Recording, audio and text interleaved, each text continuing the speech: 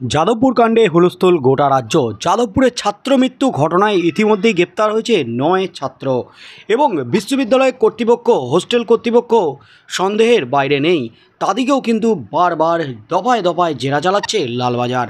আর এবার যখন dean of স্টুডেন্টসের নাম সামনে ডিন অফ স্টুডেন্টসের বিরুদ্ধে যখন বিস্ফোরক অভিযোগ তোলা হচ্ছে, প্রাক্তন ছাত্র থেকে শুরু করে ছাত্রছাত্রীদের পক্ষ থেকে হোস্টেল সুপারের বিরুদ্ধেও যখন অভিযোগ উঠছে, সেই মুহূর্তে মুখ খুললেন ডিন অফ স্টুডেন্টস বিস্ফোরক প্রতিক্রিয়া ডিন অফ স্টুডেন্টসের ডিন অফ স্টুডেন্টস যা বললেন, তাতেই কিন্তু হুলস্থুল আবারও রাজ্য।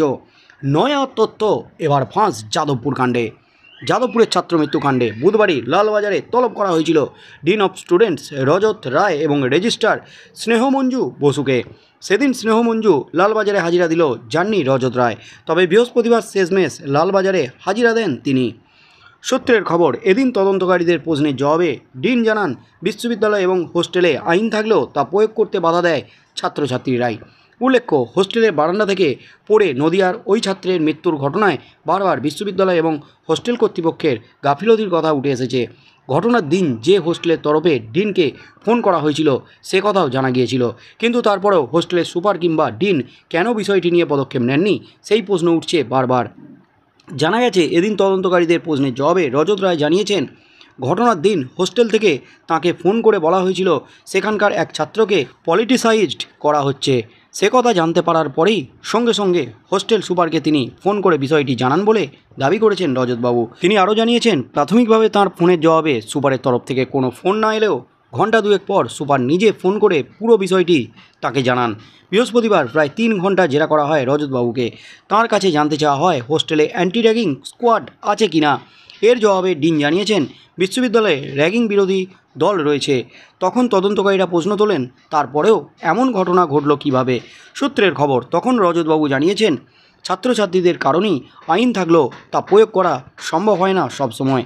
জানা যাচ্ছে, এদিন ডিনের বক্তব্য থেকে তদন্তকারীদের অনুমান ক্যাম্পাস এবং হোস্টেলে আইন শৃঙ্খলা ঠিকমতো মেনে চলা হয় না। এ বিষয়ে বিস্তারিত জানতে হোস্টেল সুপারকেও ডেকে জিজ্ঞাসাবাদ করা হতে পারে বলেও লালবাজার সূত্রে খবর। অর্থাৎ, ঠেলায় কিন্তু পড়তি ডিন অফ স্টুডেন্টস এবার আঙুল তুললেন ছাত্রছাত্রীদের দিকেই। লালবাজারে ডেকে তিন থেকে সাড়ে তিন ঘণ্টা দৌড়ে হাই ভোল্টেজ জেরা করা হয় ডিন অফ স্টুডেন্টসকে। সেই জেরাতেই নিজে ফাঁসতেই বিস্ফোরক তথ্য ফাঁস করলেন।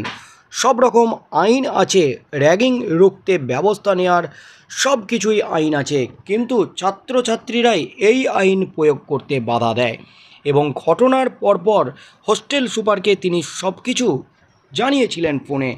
কিন্তু হোস্টেল সুপার দু থেকে তিন ঘণ্টা পর ফোন করে তাকে সব কিছু জানায়। এই মুহূর্তে কিন্তু একে অপরের দিকে আঙুল তুলছে যাদবপুর বিশ্ববিদ্যালয় কর্তৃপক্ষ।